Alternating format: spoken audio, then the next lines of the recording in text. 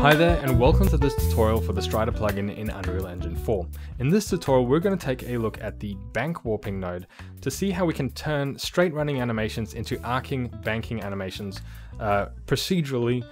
So let's have a look at the bank warp node. It takes a single input, uh, this bank value.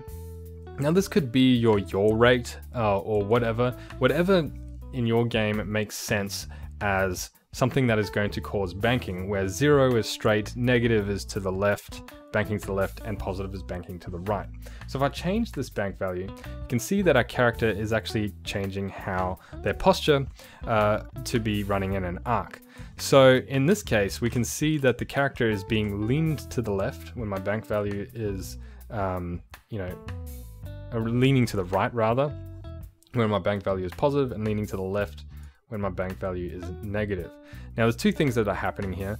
Firstly, we are tilting the entire body and we're also rotating the spine progressively, so twisting the upper body progressively up to the head in this case, to simulate that bank. And we can tweak these values as much as we like. We can even eliminate the twist or eliminate the lean. Let's have a look at how these are set up. So let's go to a somewhat blank uh, setup here and we'll add in the bank warp node.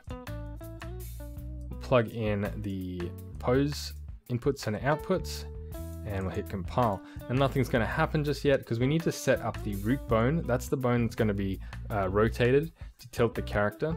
And then we also need to set up the spine chain. I'm going to go all the way to the head with this one. So first one, spine one, spine two. Remember, don't skip any bones in this chain. Um, it's really important that we have every single one. So now we need to go to the neck is the next one, I believe, for this particular rig, and then the head. So that is our spine chain set up. You might be wondering, why can't I just set the start and the end one and it figures it out for you? And that's because we need to have these individual weights here, which we can tweak um, how strong each of these bones are moved. Let me just set the ground back to zero here. Okay. So this should now work. We need to drag off a bank value and let's promote that to a variable. I'll call this bank. And let's just give it arbitrary values for now between negative 10 and 10. Obviously the values are gonna have to be dependent on your game and the, the numbers you're coming out for your yaw rate or something like that for your game.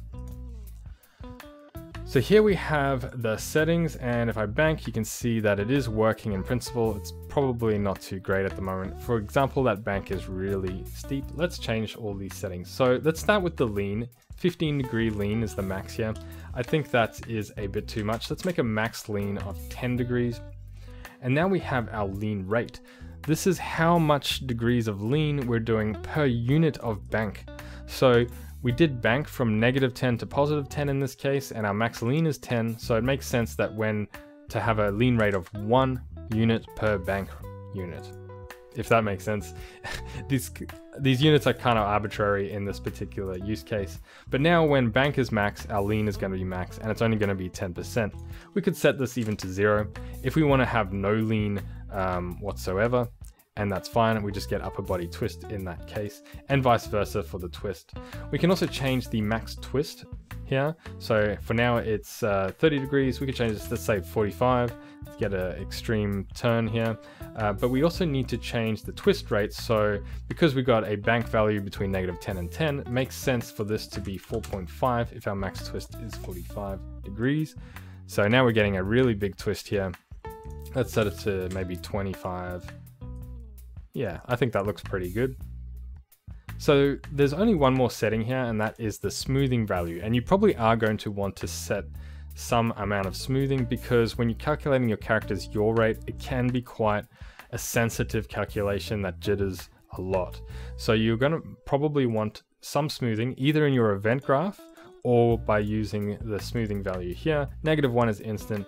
If we set this to say 50, let's see what happens when we go from negative 10 to 10. You can see the character smoothly changes from one to the other. Obviously a higher number is going to be faster, negative 10 and 10. And if we set it to something like 1, it's going to be painfully slow. and it's getting there, and there it is. So that's the bank warp node in a nutshell. It's a very simple node.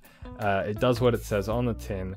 Thank you all for watching. I'll see you in the next tutorial, which will be about the acceleration warping node. And that's the last one before we do the full walkthrough in the example project.